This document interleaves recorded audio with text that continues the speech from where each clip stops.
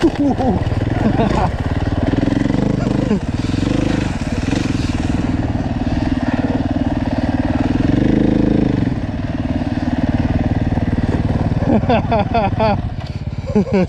I can hit that tree. I hit I hit that tree, that sharp where it goes right there, right there. I didn't I didn't look at my peg. I just did that. Ben? Yeah.